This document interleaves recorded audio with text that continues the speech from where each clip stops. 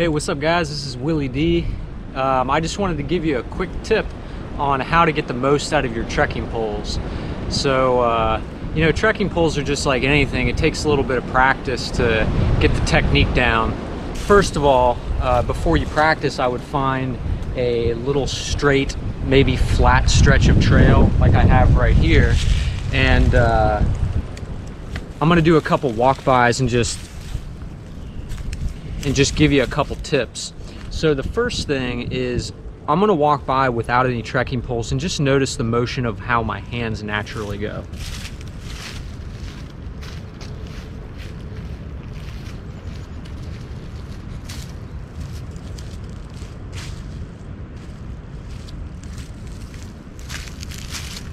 Now what happens if you kind of analyze this, every time your left foot goes forward, your right hand is going forward and you naturally just kind of walk like that. Now the next step would be to take your trekking poles and make this shape with your hand and just grab onto the trekking pole like this. I'm not putting any pressure, just, just barely holding on to it.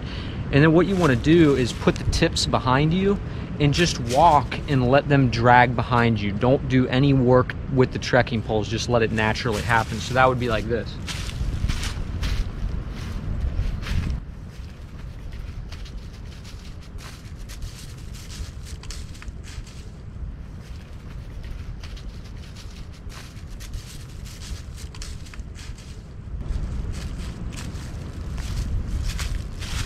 Now you notice that the trekking poles are at least a 45 degree angle pointing sharply backwards.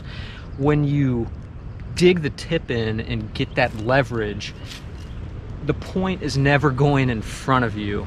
It's always either aligned with your foot or behind you. You want to be pushing back, not reaching out ahead of you. So again, let's grab onto the trekking pole loosely. And each time our hand goes forward, start putting a little pressure on the trekking pole and you feel that push off. So that'd be like this.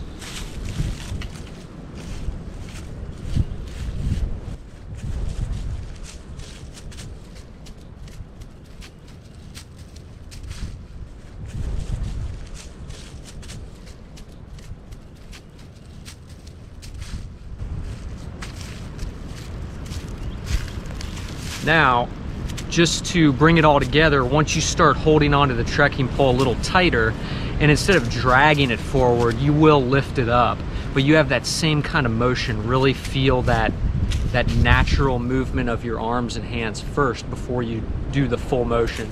But this is what like a full, uh, you know, straight ahead, you know, getting power out of it would look like.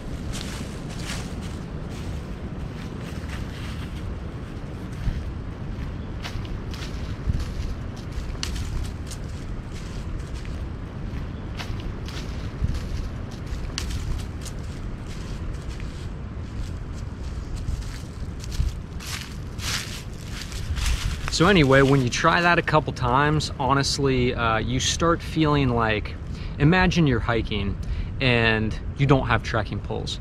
50% of that hike is going on your right leg and 50% of that hike is going on your left leg.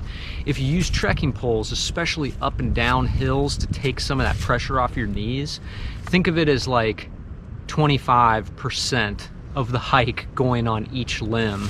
So, you know, your legs take less stress, your arms get to do some of the work instead. And so, basically, what that means is you can hike more miles more comfortably. So, anyways, I hope that uh, kind of easily describes on how you can kind of get in the groove of uh, using a trekking pole. And before you know it, you're really going to feel like as soon as you dig those in, you'll feel like it's propelling you forward, like you have so much more power and you're using a lot less effort. Peace out. Oh yeah, almost forgot. Trekking pole height. You want to set them up so your forearm is level.